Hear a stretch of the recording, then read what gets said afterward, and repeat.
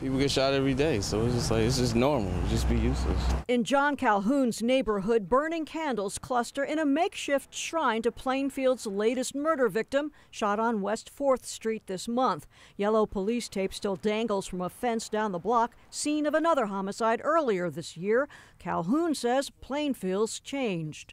Like from the gangs, like now there's gangs in Plainfield. That changed it a lot. Plainfield's a small city, just 50,000 people. It logged four homicides in 2014, only three last year. But this year, the homicide rates more than tripled to 10, half of them within a mile of each other. Who's doing the shooting? We asked a resident who feared to show her face. No, I'm just saying in general. Out here, Plainfield only but so big. Yeah, you got family killing family. They're in the street. And then now it got to a point that they can't even play in front of their houses. Plainfield Pastor Wendell Wheeler joined with an anti violence coalition today that prepared a five point proposed plan of action. It's not just about government, it's not just about police, it's about community collaborating together to try to stop or curb this continuing plague of gun violence in the city. The group presented their plan to the city, stressing weekly community meetings, an anti gun campaign, street corner outreach teams, and mostly services for at risk youth and families. We weren't allowed in. You but no parents allowed in.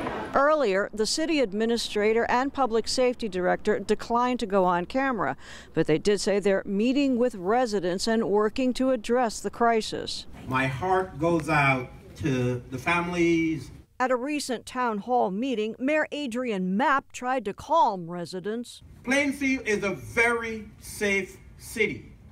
These incidents that have occurred are incidents that occurred as a result of drugs, guns, and gangs. And people that are intent on destroying each other, they will do that. The Union County Prosecutor's Office is working to solve the homicides, noting one common thread that ties many of them together is a lack of cooperation and information coming from potential witnesses in the community.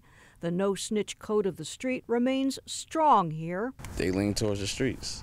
They ain't got nowhere else to go. The city said it will examine the coalition's proposal and schedule a meeting. In Plainfield, I'm Brenda Flanagan, NJTV News.